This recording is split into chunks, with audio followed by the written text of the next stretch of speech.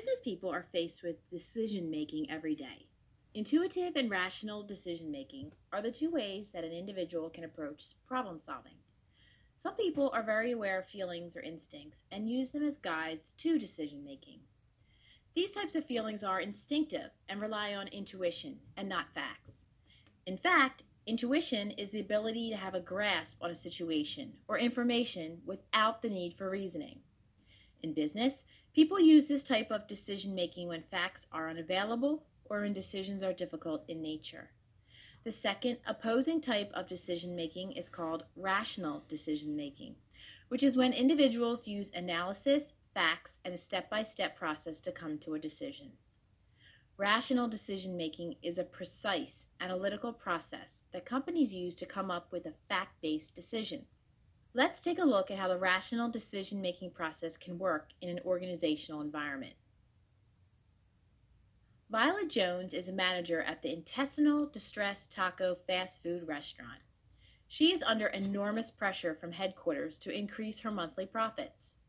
Violet is not sure what the solution is for her financial dilemma. She has to decide to use the rational decision making model to determine the best path for a solution. To do this, Violet must follow these six steps. Number one, define the problem. Number two, identify the decision criteria. Number three, allocate weights to the criteria. Number four, develop the alternatives. Number five, evaluate the alternatives. And number six, select the best alternative.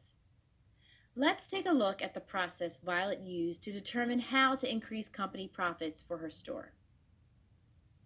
Violet first needs to define the problem. This step is relatively easy for Violet as upper management has already identified the issue. Her store profits have not increased month to month, so she needs to find the best solution to increase profits. The next step facing Violet is to determine what criteria she will use to make her decision. The next step in the rational decision making process is to identify the decision criteria. This step deals with choosing variables that will determine the decision outcome. In Violet's case, she needs to determine the criteria or information that is relevant and will help her increase her profit.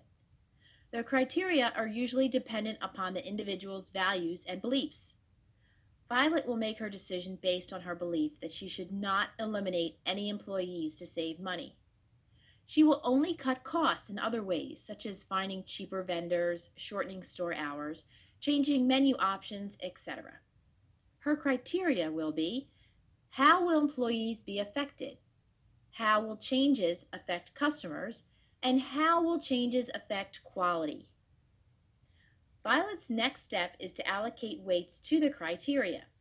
This means ranking which criteria is the most important to the decision-making process. Violet feels that the biggest weight should be given to how the change will affect employees. The other weights are then distributed equally. The next step starts to consider solutions. The next step is to develop alternatives, which is where the potential solutions need to be considered. There will not be any consideration in this step, just a generated list of alternatives. Violet has brainstormed a short list of alternative solutions. Select a new distributor of food and supplies that will cost less money. Shorten store hours, which will limit overall overhead costs. Lay off some employees who are making larger salaries, or increase promotions to lure new customers and sales. Now Violet needs to consider the alternative list she developed.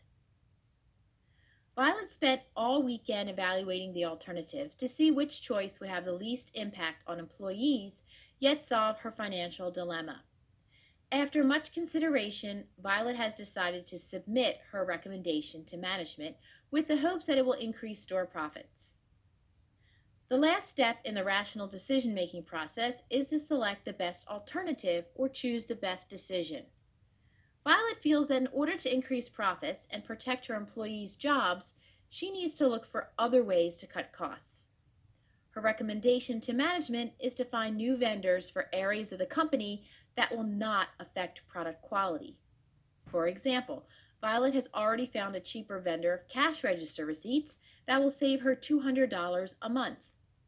In general, excellent managers are able to easily switch between analytical and intuitive decision making. In addition, managers should not look at rational analytical decision making as exclusive of intuitive decision making. In fact, a combination of both types of decision making usually yields the best result. In the rational model, the business decision maker needs to optimize the solution or select the best alternative. Certain types of business decisions are instinctive and rely on intuition and not facts. Intuition is the ability to have a grasp on a situation or information without the need for reasoning. The opposite of intuitive decision making is rational decision making, which is when individuals use analysis, facts, and a step by step process to come to a decision. The decision maker needs to optimize or determine the best solution for the problem by using a six step model. The steps are number one, define the problem. Number two, identify the decision criteria. Number three, allocate weights to the criteria. Number four, develop the alternatives. Number five, evaluate the alternatives. Number six, select the best alternative. In summary, employees should rely on a mixture of both intuitive and rational decision making in order to provide the best solution to business decisions.